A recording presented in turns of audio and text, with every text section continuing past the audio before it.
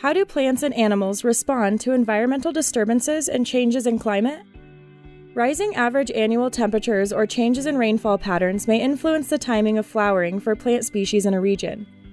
These changes can have a ripple effect on interacting species in the ecosystem, like pollinators that depend on the flowers and fruit. A change in a species trait can be a bellwether for changes in the biodiversity of the ecosystem as a whole. Scientists from the National Ecological Observatory Network, or NEON, are collecting regular observations of rainfall, plants, insects, birds, and much more at field sites across the United States as part of an ambitious program designed to provide researchers with unprecedented amounts of ecological data to better study our ecosystems and forecast how they will change over time. From monitoring population and community dynamics of organisms to measuring fluxes of carbon, water, and energy between terrestrial ecosystems and the atmosphere, to mapping changes in land surface characteristics, the National Science Foundation's NEON collects data at 47 terrestrial field sites across the United States to gain a comprehensive picture of ecosystem function. Terrestrial sites are also co located with NEON's freshwater aquatic sites whenever possible to enable the complementary study of aquatic and terrestrial ecosystems. Terrestrial field site characteristics and size vary considerably. From one of the smallest field sites at Lajas Experimental Research Station at only 3.95 square kilometers to the much larger Santa Rita Experimental Range field site that spans an impressive 215 square kilometers.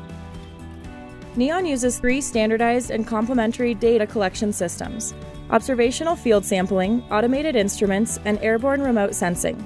All three systems are standardized across field sites, while automated instruments and remote sensing are routinely calibrated and tested. This all contributes to a more accurate and detailed picture of ecosystem function and change on a local, regional, and continental scale. To get a better idea of this, let's walk through the integrated spatial sampling design of a terrestrial field site. In the dominant vegetation, a meteorological tower rises above the plant canopy. This tower collects measurements of weather and climate, including fluxes of carbon, water, and energy between terrestrial ecosystems and the atmosphere. At each tower, an upwind area captured by the atmospheric measurements is defined as the tower airshed. Where there is more than one prevailing wind direction, there can be a secondary airshed too. Phenocams mounted on the top and bottom of the tower and typically facing north collect time lapse photos of the nearby environment throughout the year.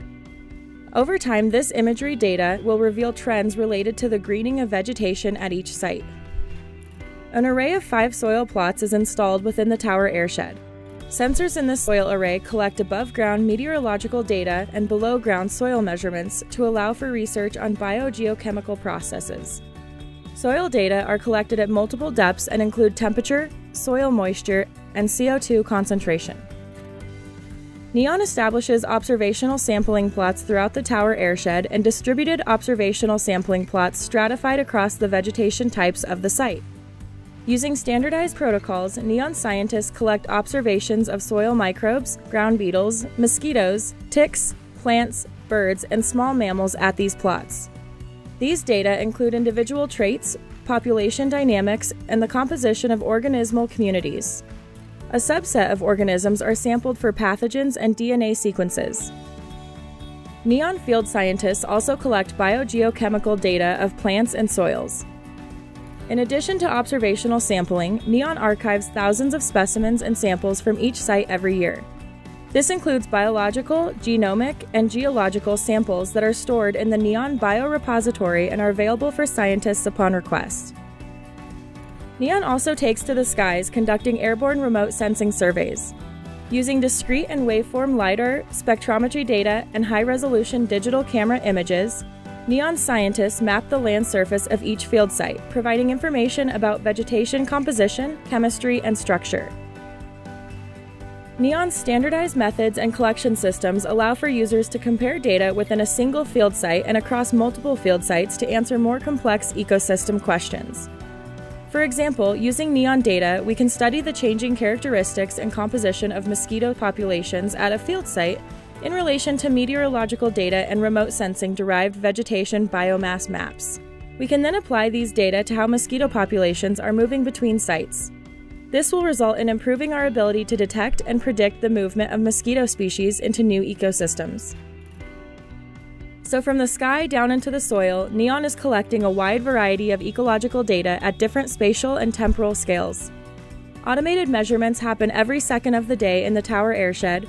Weekly field sampling covers a much broader area, and NEON's annual remote sensing surveys collect landscape scale data. Visit neonscience.org to learn more.